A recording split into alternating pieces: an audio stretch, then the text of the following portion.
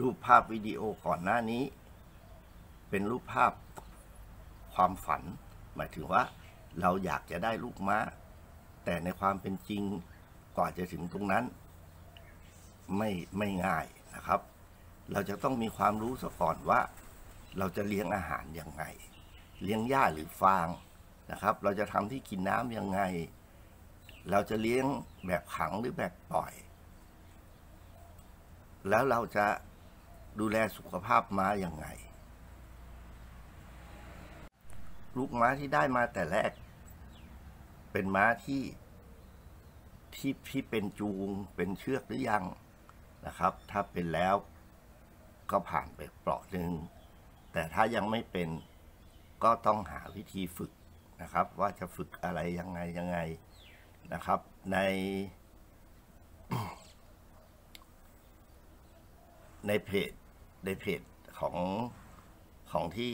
พวกเพื่อนๆกำลังดูอยู่ ผมแยกต่างหากนะครับ ถึงว่า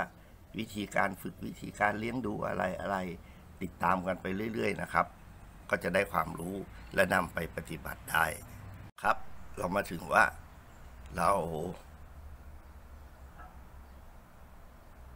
เราเริ่มต้นแล้วนะครับ เราเริ่มด้วย ม้าตัวเมียอายุได้หนึ่งปี พออีกปีถัดมาม้าตัวนั้นอายุได้สองปี เราก็แต่งงานให้เขานะครับ แต่งงานให้เขา พอครบอีกนะครับครบอีก หลังจากเราเลี้ยงสองปีผ่านไปก็คือม้าเขาจะท้องประมาณเกือบปีหนึงนะครับ เราก็จะได้ลูกม้าตอนนี้ก็เป็นสิ่งที่ต้องคิดอีกนะครับว่า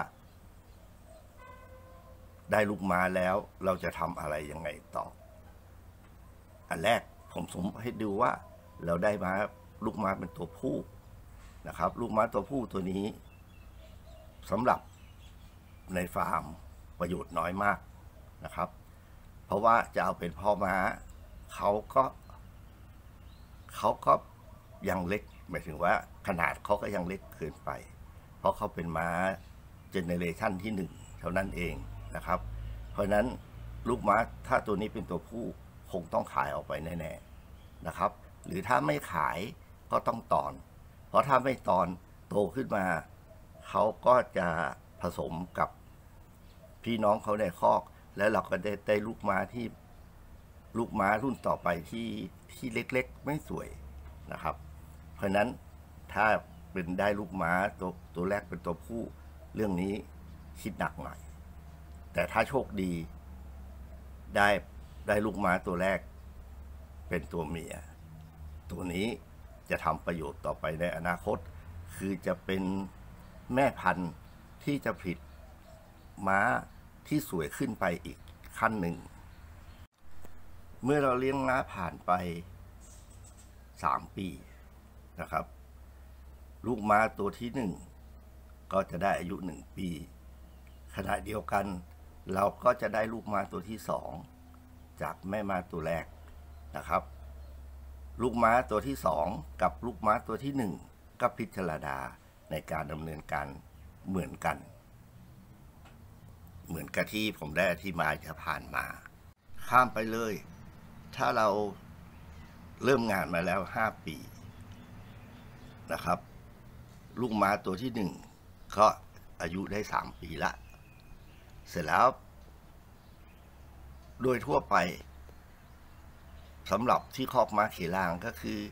ม้าตัวเมียอายุสองปีแล้วก็ผสมแล้ว เพราะนั้นตอนนี้เขาอายุได้สามปี ก็คือเขาจะได้ลูกนะครับ จะได้ลูกจากจากลูกม้าตัวแรกนะครับ เราก็จะได้ลูกม้าที่สวยขึ้นเป็นลูกม้าเจเนเรชันที่สองนะครับ แล้วก็แล้วเขาเราก็จะได้ลูกม้าจาก จากแม่พันธุ์ตัวแรกสุด แม่พันธุ์ตัวแรกสุด สรุปแล้วถึงถึงปีที่ห้านะครับห้าปีผ่านไปของการดำเนินงาน เราจะมีม้าทั้งหมดในคอกหกตัว ถึงเป้าหมายคร่าวๆแล้วครับ เมื่อดำเนินงานไปครบห้าปี เราก็จะมาถึงทางเลือกว่ากิจการที่เราทำ เราจะเลือกเส้นทาง เพราะลูกไม้ขายหรือไง เรามีมีม้าเจเนเรชันที่สองที่เป็นตัวผู้ ถ้าสวยงามพอสมควร เราก็อาจจะพัฒนาให้ม้าตัวนี้ เป็นพ่อพันธุ์ที่ผสมให้ให้ม้าของเพื่อนๆนะครับของของเพื่อนเพื่อนชาวชาวม้าชาวอาชาด้วยกัน แต่ว่าเขาเป็นพ่อมาในคอกไม่ได้ เพราะว่าเขาเป็นสายเลือดเดียวกันนะครับ เสร็จแล้วเราก็มีจำนวนม้ามากพอที่เราจะจัดจัดกิจกรรมกีฬาท้ายกิจกรรมกีฬาที่เราจะเลือก เราก็จะดูว่า เราสถานที่ตั้ง เราอยู่ใกล้หรือไกลนะครับ จากตัวเมือง ถ้าอยู่ไกลกิจกรรมก็จะเป็นอย่างหนึ่ง ถ้าอยู่อยู่ใกล้นะครับ หรือว่าอยู่ในเมืองกิจกรรมก็จะมุ่งไปอีกอย่างหนึ่งขอเพื่อนๆศึกษานะครับ ผมคงจะจบคลิปพวกนี้เท่านี้นะครับ ผมทิ้งทิ้งท้ายไว้ให้ดูนะครับ ผมทิ้งท้ายไว้ให้ดูว่า ผมทำคลิปนี้ตั้งใจจะเป็นแผนที่ หรือเป็นแนวทางในการเลี้ยงม้า และได้ทำรายละเอียดในแต่ขั้นแต่ละขั้นตอนให้ด้วย หลังจากนั้นศึกษาศึกษาจากจากคลิปอื่น ๆนะครับ ซึ่งเป็นรายละเอียดแต่ละขั้นแต่ละตอน แต่สิ่งที่ลืมไม่ได้ก็คือ ขอขอบคุณเจ้าของภาพในวิดีโอนี้ทั้งหมดนะครับวิดีโอนี้สำหรับคนที่ที่ไม่จริงจังมากๆจะบอกว่าดูแล้วน่าเบื่อนะครับ แต่ว่าผมขอย้ำว่าวิดีโอนี้เป็นแนวทางเป็นประโยชน์มาก สำหรับคนที่ตั้งใจจะเลี้ยงม้าขอบคุณครับ